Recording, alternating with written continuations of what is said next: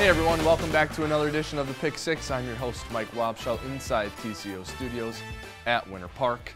After a tough Vikings loss, but another tough game on the horizon. So let's get to work. Your questions begin right now. The first one from Steven. Not sweating the loss. Very uncharacteristic performance in what was ultimately a winnable game.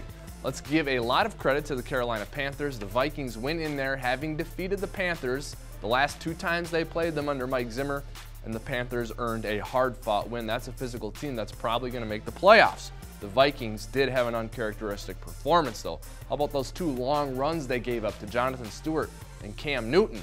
We haven't seen much of that this season. Three turnovers, they allowed six sacks, some drop passes, including some in the end zone.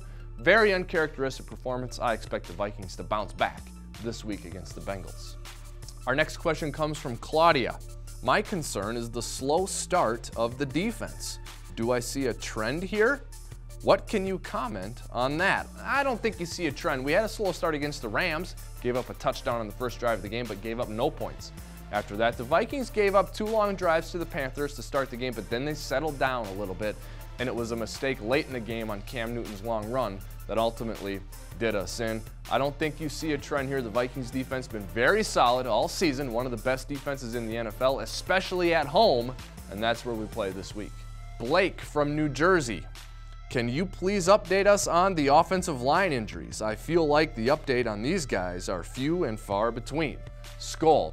Well, head coach Mike Zimmer will have the injury update, I'm sure later today. So make sure you stay tuned to Vikings.com and watch that press conference. Or if you missed it, you can watch it in on demand format as well. He is the authority on injuries, not me. But I love our depth along the offensive line, and I feel like the Vikings can win games down the stretch with the backups because the personnel department and the coaches have done such a good job of developing guys like Jeremiah Sirles, Nick Easton, Danny Isidora, and Rashad Hill. So the Vikings will be okay along the line. Jake from Circle Pines with the next question. I hope Riley Reiff comes back healthy soon, but can we trust Rashad Hill or a rested Mike Remmers to hold the spot while Riley recovers? Well, remember, Rashad Hill had started the last four games going into last week's game, and the Vikings won all of them. The Vikings also have versatility up front with Nick Easton, Joe Berger, and Pat Elflein all being able to play center. The Vikings are going to be just fine up front. The next question comes from Tony. Still confident about this Vikings team?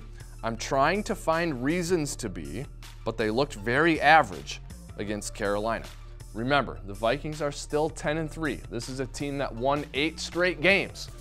Average teams don't win 8 straight games. The Vikings are going to be just fine and give Carolina credit. That's a good Panthers team the Vikings lost to. Here's some good news.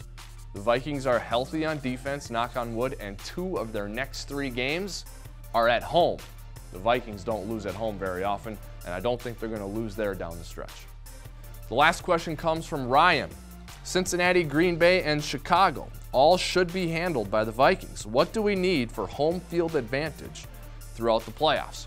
All the Vikings should worry about right now is winning those games. You can't take any opponents for granted. And the Bengals know that more than anyone. They just lost at home to the Bears you can be sure the Vikings will not overlook any of these opponents, especially the Bengals, Mike Zimmer's former team. But if you're into scoreboard watching, the teams you're rooting against are the Eagles and the Panthers. That's it for this week's edition of the Pick Six. Thanks for watching. We'll be back next week with another edition, so please continue to submit your questions to the email address at the bottom of the screen. In the meantime, stay tuned to Vikings.com for awesome content coming your way.